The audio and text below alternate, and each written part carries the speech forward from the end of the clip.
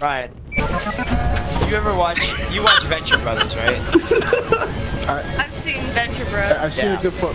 Oh! Oh Jesus Oh! Christ! Oh shit! What the fuck?